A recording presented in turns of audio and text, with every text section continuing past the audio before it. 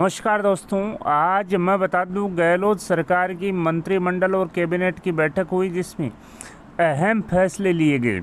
मैं बता दूँ, मंत्रिमंडल में युवाओं, कार्मिकों और उद्यमियों के हितों के लिए अहम निर्णय लिए। साथ ही सार्वजनिक जवाबदेही, पारदर्शिता और जनहित संतुष्टि के लिए अथॉरिटी के गठन को भी मंजूरी दी है। जी हाँ दोस्तों, माननीय मुख्यमंत्री की अध्यक्षता में शनिवार को मुख्यमंत्री आवास पर राज्य मंत्रिमंडल की बैठक का आयोजन हुआ। बैठक में प्रदेश के युवाओं के हितों को अनेक, को लेकर अनेक फैसले लिए। इसमें जहाँ ईडब्ल्यूएस की आयु सीमा में छूट के प्रावधानों में चार सेवा नियम को जोड़कर राज्य के नियुक्ति के रास्ते खोले गए, वहीं पंचायती राज एलडीसी भर्ती 2013 के चार हज़ार पदों को भरने की कार्रवाई आगे बढ़ाकर और शीतलन देकर राजकीय नियुक्ति का इंतज़ार कर रहे युवाओं को सौगात यहाँ पर दी गई है। मैं बता दूँ, पंचायत राज एलडीसी भर्ती का जो विस्तृत विवरण है, वीडियो के थोड़े से पार्ट में आगे अभी आपको देखने को मिलेगा। मंत्रिमंडल ने Rajasthan social and performance audit के, ऑडिट अथॉरिटी के गठन, शहीद रक्षा कार्मिकों के आश्रितों के नवीन नियुक्ति नियम जारी करने राजस्थान हस्तशिल्प नीति 2022 जारी करने। पैलेस ऑन व्हील्स ट्रेन को ऑपरेशन एंड मेंटेनेंस मॉडल के अंतर्गत संचालित करने।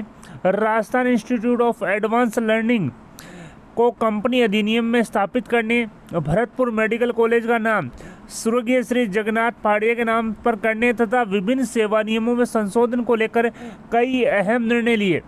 मैं बता दूँ, पंचायती राज एलडीसी भर्ती 2013 के काफ़ी लंबे समय से अभ्यर्थी इंतज़ार कर रहे थे कि इनको नियुक्ति मिले। मैं बता दूँ, सरकार द्वारा दो बार घोषणा के बावजूद भी आज रंग तक नियुक्ति प्रक्रिया यहाँ पर शुरू नहीं हुई। इसी को लेकर करीब चार हज़ार पदों पर नियुक्ति देने को लेकर आज कैबिनेट की बैठक में इसको हरी झंडी मिल गई है। अब काम रहा कैलेंडर जारी करने का। साथ ही मैं बता दूँ, नियुक्ति प्रक्रिया में जो वेटिंग लिस्ट जारी होगी, जिसमें जो पहले अभ्यर्थी का जो एलडीसी में ज्वाइन कर रखे हैं, उनको जो नाम है, वो लिस्ट से हटाया जाएगा। यानी कि जो हटाने का जो काम है, वो लगभग पूरा हो चुका है। अब जो बाकी बच्चे जो कैंडिडेट्स हैं, उनके नामों से वो वेटिंग लिस्ट जारी होगी। करीब चार हज़ार पदों पर ज्वाइनिंग दी जाएगी। Rajasthan social and performance audit authority का गठन की मंजूरी दी है। मैं बता दूँ, मंत्रिमंडल ने Rajasthan social and performance audit authority के गठन के प्रस्ताव को मंजूरी दी है।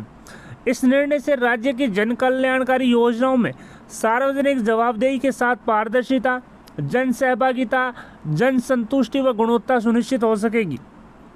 राज्य के विभागों तथा उपक्रमों व योजना व कार्यक्रमों को लागू करने वाली अन्य एजेंसी के कार्य निष्पादन का आंकलन भी हो सकेगा।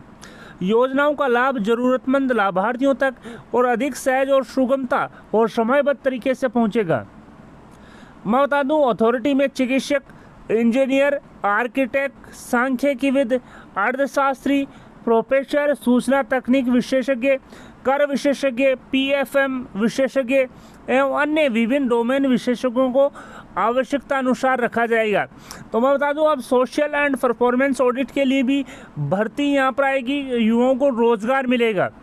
राजस्थान हस्तशिल्प नीति 2022 जारी हाँ परंपरागत हस्तशिल्पों को यहाँ पर बढ़ावा मिलेगा। तो यहाँ पर नई जो हस्तशिल्प नीति है, उनको यहाँ पर मंजूरी दी है। शहीद या आश्रितों को अनुकंपा नियुक्ति में राहत यहाँ पर दी है। मैं बता दूँ, नवासा, नवासी भाई बहन और उनके पुत्र व पुत्री भी आश्रित की श्रेणी में अब आने लग गए हैं। मंत्रिमंडल ने राजस्थान शहीद रक्षा कार्मिकों के आश्रितों के नियुक्ति नियमों में अहम संशोधन कर राहत प्रदान की है। राजस्थान शहीद रक्षा कार्मिकों के आश्रितों की नियुक्ति नियम 2018 को निरस्त कर नए नियम राजस्थान शहीद रक्षा कार्मिकों के आश्रितों की नियुक्ति नियम 2022 को स्वीकृति प्रदान की है। मैं बता दूँ, नए नियम 2022 लागू होने के बाद पुराने जो नियम है 2018 वो निरस्त यहाँ पर कर दिए हैं। अभी तक 15 अगस्त उन्नीस से लेकर इकतीस दिसंबर 1970 की अवधि में शहीदों के एक आश्रित को राजकीय सेवा में नियोजित करने का प्रावधान है। इसे बढ़ाकर 31 दिसंबर 2000 उन्नीस तक की अवधि कर दी गई है। इसमें उन्नीस सौ इकहत्तर के युद्ध में शहीद हुए जवानों के परिजनों को भी लाभ मिल सकेगा। वहीं अब कुटुंब के सदस्य के रूप में शहीद की पत्नी, पुत्र, दत्तक पुत्र, पुत्री, दत्तक पुत्री, पुत्र, दत्तक पुत्र, पोत्री, दत्तक पोत्री के साथ नवासा, दत्तक नवासा, नवासी, दत्तक नवासी और शहीद अविवाहित होने पर भाई या बहन और भाई का पुत्र या पुत्री, बहन का पुत्र या पुत्री भी आश्रित की श्रेणी में अब शामिल यहाँ पर कर ली है। तो दोस्तों, अब मैं बता दूँ, शहीद परिवारों की जो आश्रित की जो श्रेणी है, उसका एक्सपांसन यहाँ पर किया है, जिससे अब अधिक संख्या में शहीद के परिवार के जो लोग हैं, वो यहाँ पर अनुकंपात्मक नौकरी का लाभ ले सकेंगे। साथ ही राजस्थान मृत सरकारी कर्मचारियों के आश्रितों के अनुकंपात्मक नियुक्ति नियम उन्नीस सौ छियासठ के अनुरूप ही शहीद आश्रितों को भी उक्त नियमों के नियमों में अधीनस्थ सेवा, मंत्रालय सेवा और चतुर्श्रेणी की सेवा, सीधी भर्ती पे लेवल एक से दस के पदों पर नियुक्ति मिल सकेगी। अब बात करते हैं, पंचायत राज एलडीसी भर्ती 2013 के जो पद हैं, वो करीब चार हज़ार पदों पर भर्ती अब भरे जाएँगे। मंत्रिमंडल ने आज इसकी अप्रूवल यहाँ पर दी है। जैसा कि आप देख सकते हैं, मंत्रिमंडल ने कनिष्ठ लिपिक भर्ती 2013 के क्रम में करीब चार हज़ार अभ्यर्थियों को नियमित नियुक्ति देने का बड़ा निर्णय लिया है। जिला परिषदों द्वारा राजस्थान पंचायती राज के प्रावधानों के अनुसार भर्ती आयोजित की गई थी। वर्ष 2017 में बंद भर्ती प्रक्रिया को अब फिर से शुरू किया जा रहा है। अब 2013 की वरीयता सूची के अनुसार वेटिंग लिस्ट जारी की जाएगी। और पदों को भरने की कार्रवाई के लिए प्रक्रिया निर्धारित करने और वांछित शीतलन के प्रस्ताव का अनुमोदन बैठक में आज कर दिया गया है। मैं बता दूँ, पंचायत राज एलडीसी भर्ती 2013 के शेष रहे दस हज़ार उनतीस पदों में से माननीय मुख्यमंत्री महोदय ने इन इस भर्ती को दो चरणों में पूरा करने का यहाँ पर घोषणा की थी। फ़र्स्ट चरण में चार हज़ार पदों पर नियुक्ति दी जाएगी और सेकंड चरण में छः हज़ार। चार हज़ार नियुक्ति के क्रम में आज कैबिनेट ने अप्रूवल दे दी है। साथ ही वांछित जो प्रक्रिया है और वांछित जो शीतलन है, उसके प्रस्ताव का भी अब अनुमोदन यहाँ पर कर दिया है। अब नेक्स्ट सप्ताह तक कैलेंडर जारी होकर नियुक्ति प्रक्रिया का जो विधिवत जो शुरुआत है, वो यहाँ पर की जाएगी। साथ ही ईडब्ल्यूएस को रात शेष चार सेवा नियमों में भी अधिकतम आयु में यहाँ पर छूट दी गई है। आप देख सकते हैं, मंत्रिमंडल ने आर्थिक रूप से कमज़ोर यानी कि ईडब्ल्यूएस के अभ्यर्थियों को राहत प्रदान की है।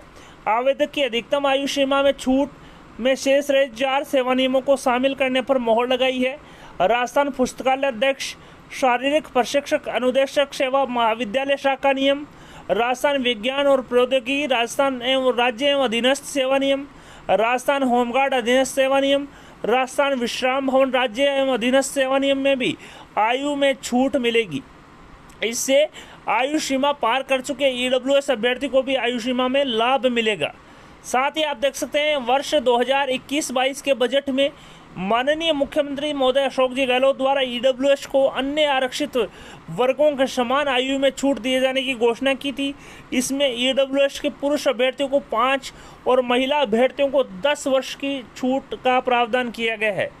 अन्य राज्य और केंद्र में कार्यरत पदक विजेता कार्मिकों को भी मिलेगा राज्य पे प्रोटेक्शन तो मैं बता दूँ, राजस्थान मंत्रिमंडल ने Rajasthan out of turn appointment to sports medal winners rules 2017 में संशोधन किया है।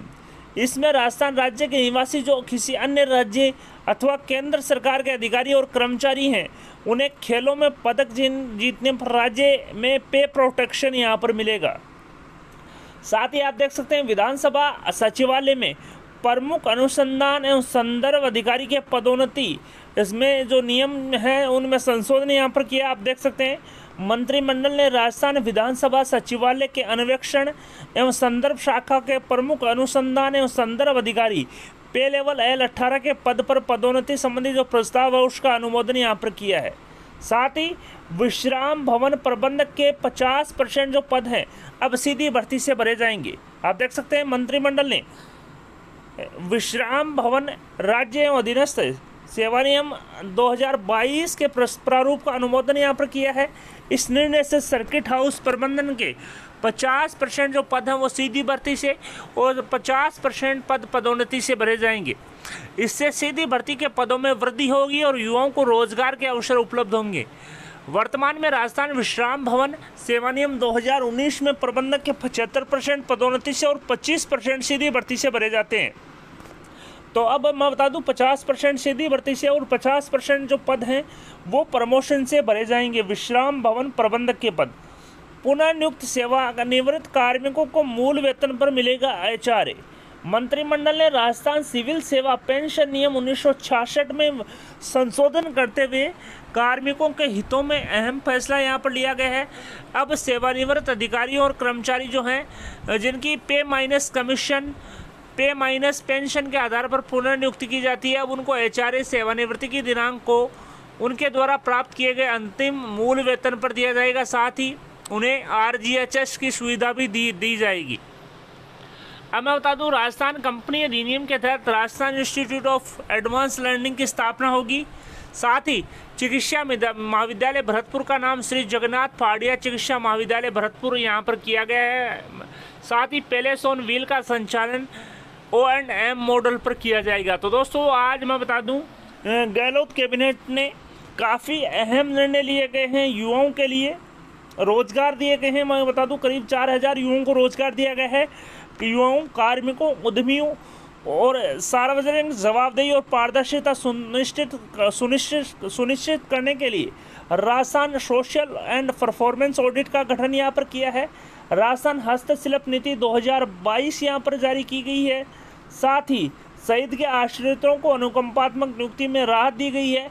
नवासा, नवासी भाई बहन के पुत्र, उनके पुत्र पुत्री को भी आश्रित की श्रेणी में शामिल किया है। पंचायती राज एलडीसी भर्ती 2013 के चार हज़ार पदों पर नियुक्ति का जो रास्ता है, वो साफ़ यहाँ पर किया गया है। हरी झंडी यहाँ पर दी गई है। ईडब्ल्यूएस को राहत दी गई है। शेष चार सेवा नियम में अधिकतम आयु सीमा में छूट यहाँ पर दी है। पदक विजेताओं को राज्य पे प्रोटेक्शन का लाभ यहाँ पर दिया जाएगा। राजस्थान विधानसभा में प्रमुख अनुसंधान एवं संदर्भ अधिकारी जो हैं, पचास परसेंट जो पद हैं, आप देख सकते हैं, उनका अनुमोदन, पदोन्नति का अनुमोदन किया है।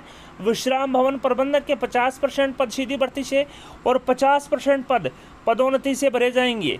पुनर्नियुक्ति सेवानिवृत्त कार्मिकों को मूल वेतन पर एच मिलेगा। कंपनी अधिनियम के तहत Rajasthan institute of advance learning स्थापित होगा।